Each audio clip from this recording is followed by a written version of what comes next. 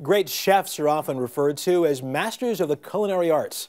And for one chef we know, the phrase takes on a uniquely personal meaning. And that's tonight's Sunday cover. A celebrated chef who is equally at home in the kitchen or the studio.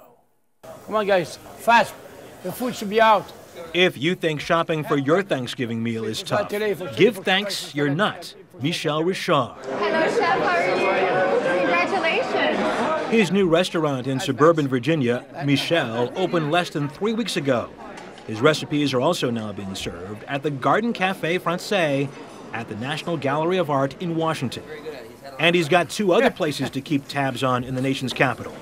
Clearly, he's a big hit with customers. On, on the way out, oh, merci, Michel. Thank you, Michel. Thank you very much. It's nice. And then Money and a kiss. I love butter. I'm going to put a lot, okay? He's run restaurants around the country and won a stockpot's worth of awards. One from the James Beard Foundation for Outstanding Chef.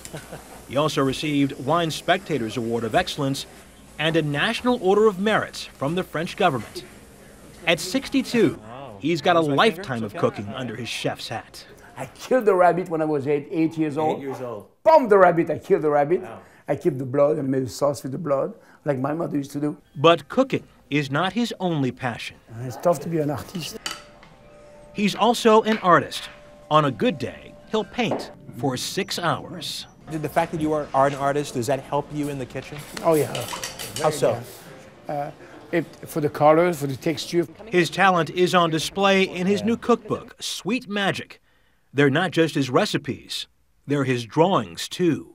When I, I was creating the recipe, for me it was easier, instead of going in the kitchen and work on the recipe, it was easier for me to, to design the chicken, add uh -huh. some carrots, so the painted first made it yeah, easier for you easier. to. Yeah, I was adding carrot. I was adding uh, maybe a little tomato here. Oh, it doesn't taste good. I remove the carrot. Few chefs paint as much as he does, but he says all chefs are artists.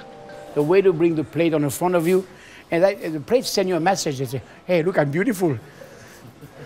Hit me."